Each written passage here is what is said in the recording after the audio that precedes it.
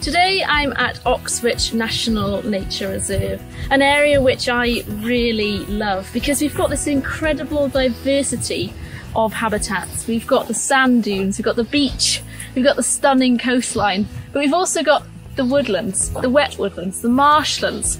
Already I've seen a variety of wildlife, including the small blue butterfly and also swifts ahead. But today I'm focusing on a particular feature of this area, which is of course the sand dune ecosystem.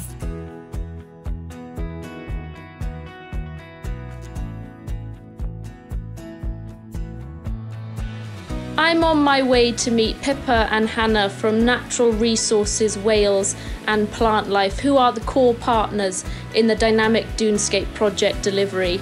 I'm meeting with them to learn more about the Dynamic Dunescapes as a project and more about this wonderful reserve.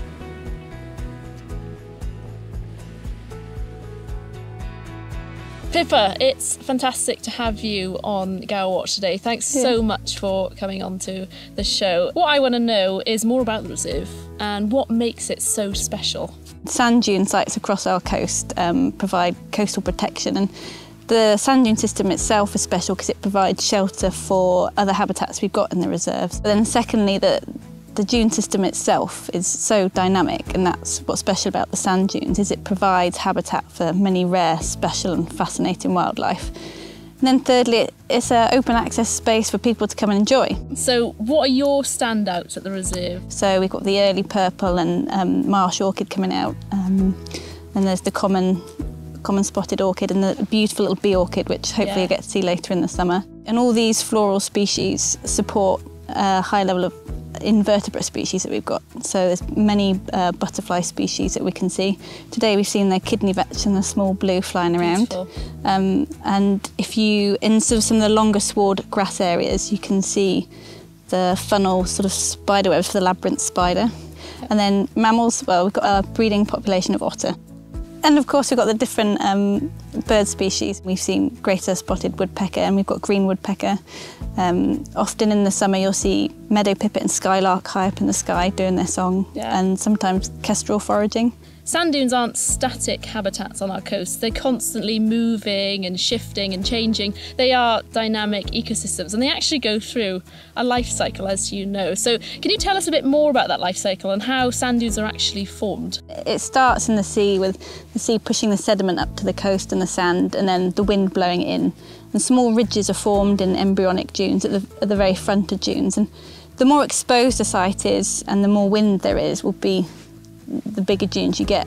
To ensure that they stay favourable for that wildlife and to ensure that they're protected and resilient for the future actually involves your team managing the sand dunes. The three main things that we do um, are with scrub encroachment, trying to keep the scrub out of the dunes and the dune slacks, which are the dips um, behind the frontal dunes we've got here.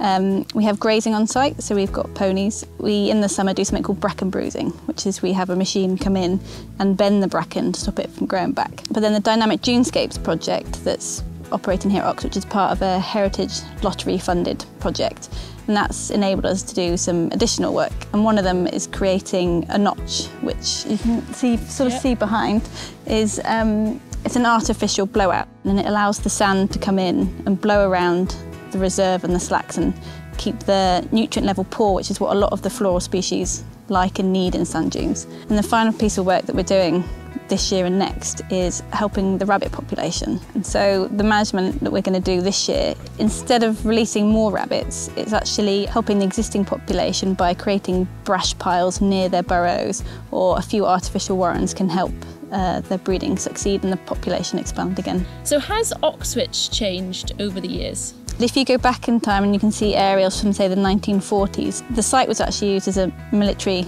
training area so there was lots of bare sand and the site was almost devastated in some areas. But it's by the 1960s the site was designated and over 550 floral species were were seen. Management we do annually and through Dynamic Dunescape is trying to reverse some of that and just keep the dunes dynamic. We've got so many community members here and really passionate individuals and conservationists that want to get involved in a project like this one. So how can the community get involved?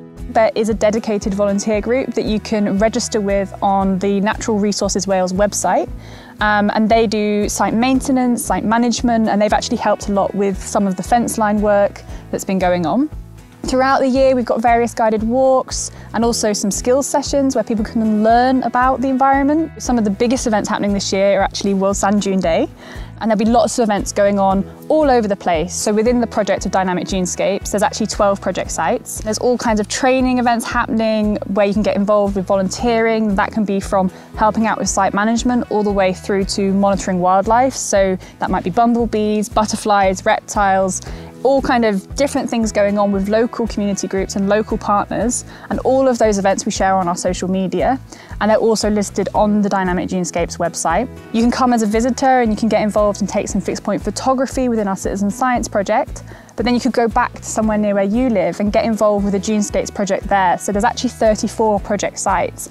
And again, they're all with different organisations from the Wildlife Trust through to the National Trust, Plantlife where I'm from, and also the Natural Resources Wales and Natural England as well. There's resources online if you want to do the John Muir Award and there's ideas for activities you can do there and a young person's bursary here in Wales it's a £500 bursary for people aged 18 to 30.